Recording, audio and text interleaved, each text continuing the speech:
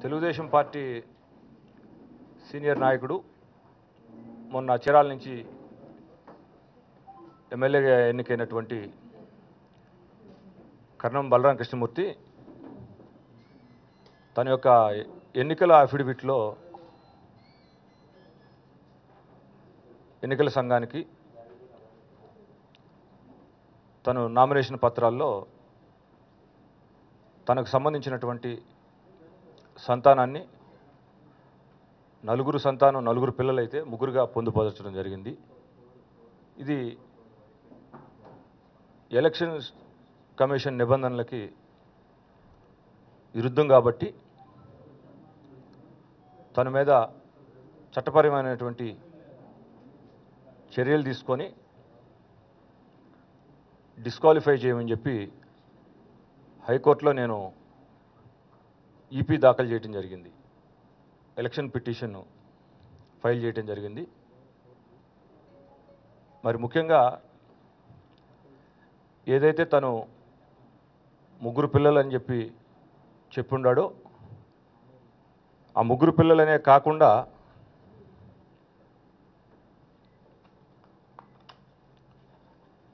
కరణం అంబిక కృష్ణ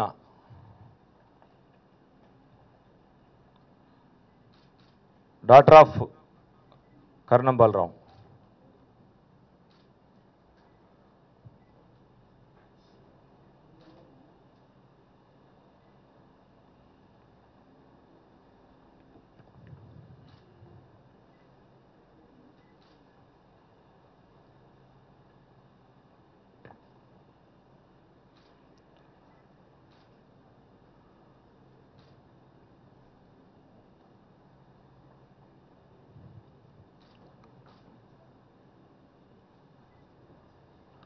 ఈ ఫొటోస్ అన్నీ కూడా తను ఆ పాప యొక్క అన్నప్రాసన్నం దగ్గర నుంచి ఎనిమిది సంవత్సరాలు ప్రతి పుట్టినరోజు తనే సెలబ్రేట్ చేయడం జరిగింది తండ్రి హోదాలో.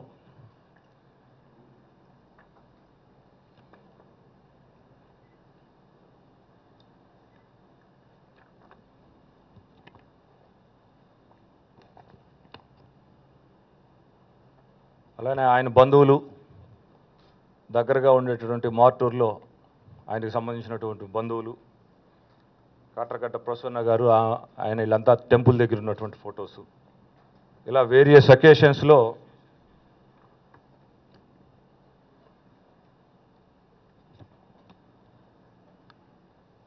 ఇది కురిచేడు తను గెస్ట్ హౌస్లో ఆ పాపతో పాటు దిగినటువంటి ఫోటో.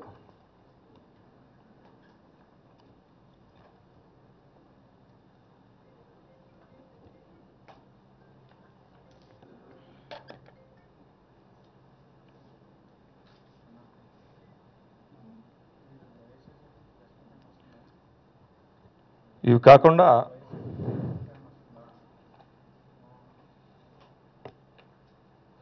సెయింట్ తెరిసా హాస్పిటల్లో కరణం అంబికా కృష్ణ జన్మించినప్పుడు హాస్పిటల్ అథారిటీసు కరణం బలరావుని తండ్రిగా ఇచ్చినటువంటి బర్త్ సర్టిఫికెట్ ఇది.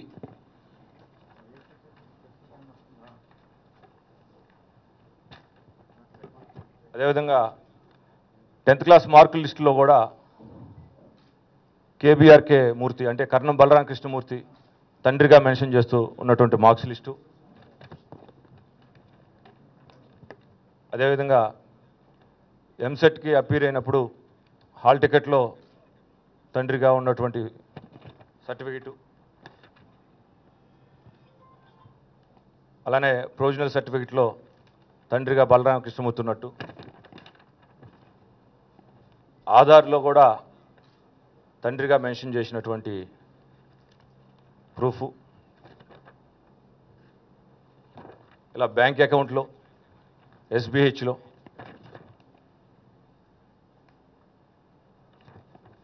ఉస్మానియా యూనివర్సిటీలో ఎల్ఎల్బి చేయటానికి అప్లై చేసినటువంటి రిప్రజెంటేషన్.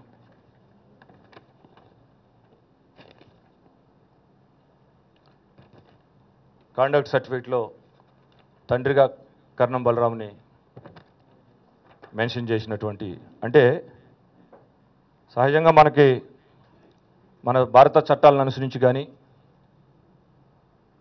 ఏదైనా మతానికి సంబంధించినటువంటి ధర్మాన్ని అనుసరించి చట్టపరంగా కానీ నైతికంగా కానీ ఒక ఆడపిల్ల నాకు తండ్రి ఇతను అనేదానికి ఈ భూమి మీద ఇంతకు మించిన ప్రూఫ్లు చూపించాల్సినటువంటి అవసరం లేదు. ఇన్ కేస్ ఈ నిజం కాదు అని కానీ వాళ్ళు పొరపాటున క్లెయిమ్ చేస్తే ఈ నిజమైన నిరూపించుకునేదాన్ని కూడా ప్రస్తుతం మన ముందు అనేక రకాలైనటువంటి సాంకేతిక పరిజ్ఞానం అదేవిధంగా scientific evidence for example forensic ల్యాబ్లో ఈ డాక్యుమెంట్స్ కానీ ఈ ఫొటోస్ కానీ కరెక్టా కాదా?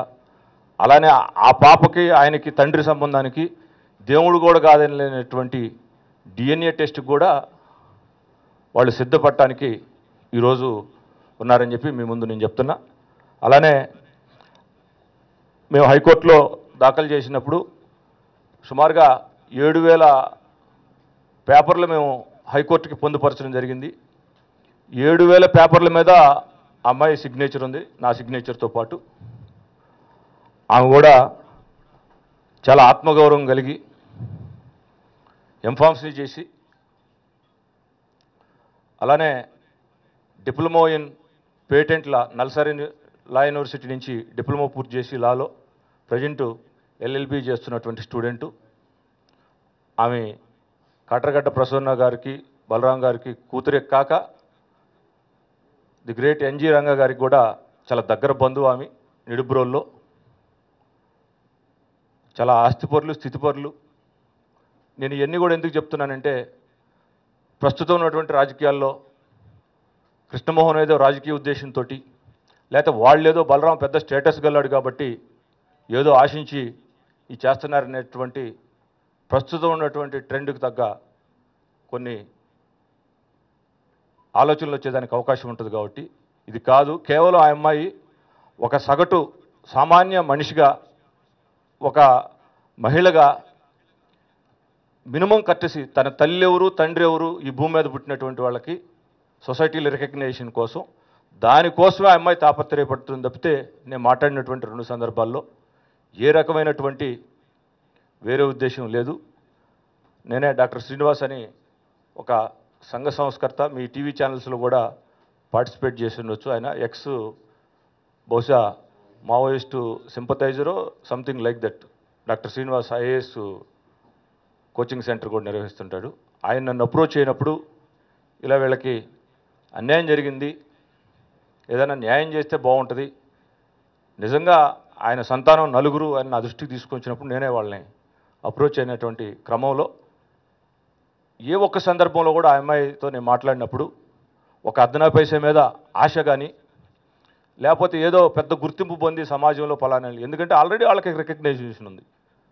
వాళ్ళ mother two times MLA she is youngest MLA in two states Katragadda Prasanna ఇప్పటికి వాళ్ళకి ఒక వంద కోట్ల పైన హైదరాబాద్లో ఆస్తుంది బహుశా బలరాం గారి కన్నా కూడా ఎక్కువ ఉండొచ్చు అంటే ఇవన్నీ కూడా నేను ఎందుకు చెప్తున్నానంటే అది ఆ అమ్మాయి ఒక మహిళగా మినిమం కట్టసి ఏ కులంలో ఉన్నా ఏ వృత్తిలో ఉన్నా ఈ భూమి మీద ఎవరైనా సరే తన తండ్రి ఎవరు అనేది సమాజానికి చెప్పాలనేటువంటి దృక్పథం ఎవరికైనా అనేటువంటి ఆలోచన మానవత్వంగా.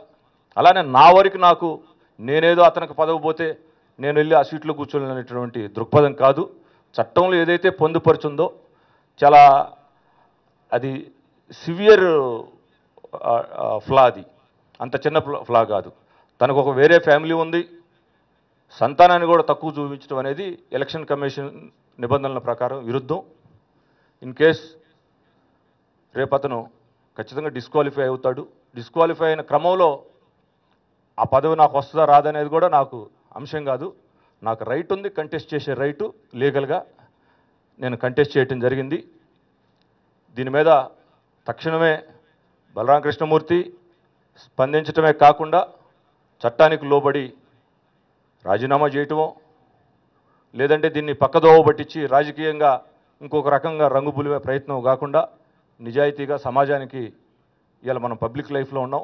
చట్టపరమైనటువంటి లీగల్ డీవియేషన్సే కాకుండా నైతికత కట్టుబడి కూడా అతను సమాధానం చెప్పాల్సిన అవసరం ఉంది. ఇది కాక ఇంకా చంద్రబాబు నాయుడు గారి విషయంకి వచ్చే తలకే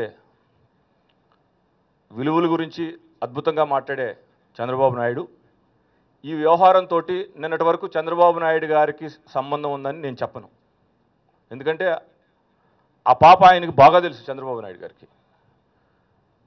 She is not a law graduate she is not a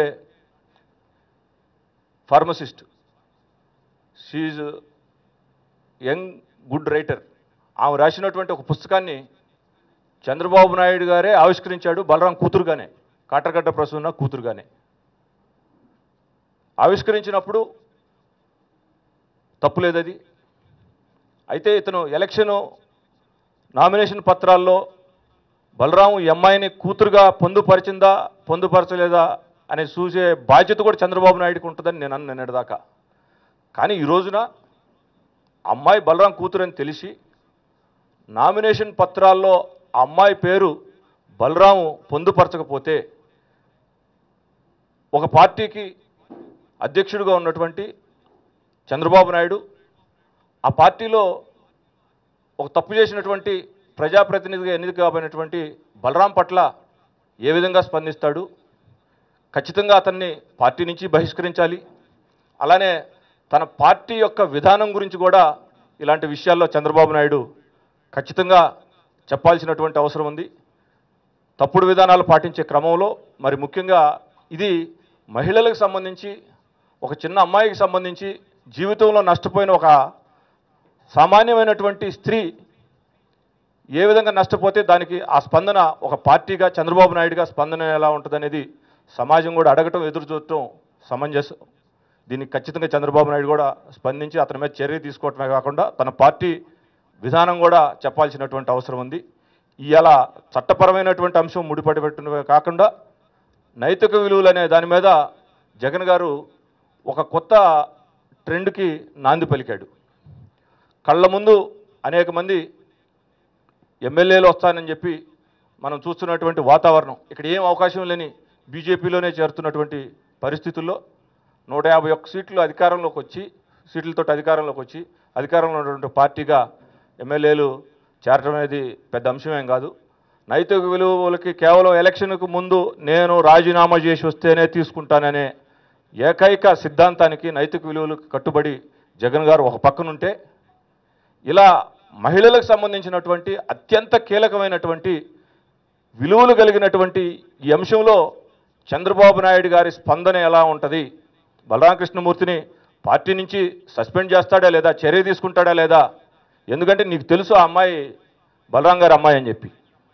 కానీ పొందుపరిచిన దాంట్లో నీ ప్రమేయం లేదు పొందుపరచని దాంట్లో. కానీ పొందుపరచలేదు తనకు పుట్టిన పిల్లనే తనకు పుట్టలేదనో లేకపోతే కూతురు కాదనేటటువంటి ఒక క్రూరమైనటువంటి మానవీయ కోణం మనస్తత్వం కలిగినటువంటి వ్యక్తిని నీ పక్కన కూర్చోబెట్టుకోవటానికి అది నువ్వు కూడా రేపటి రోజున తప్పు చేసినట్టు అవుతుంది కాబట్టి చంద్రబాబు నాయుడు కూడా ఈ విషయం మీద స్పందించాలి చర్య తీసుకోవాలని చెప్పి ఈ సందర్భంగా నేను తెలియజేసుకుంటూ సెలవు తీసుకుంటున్నాను.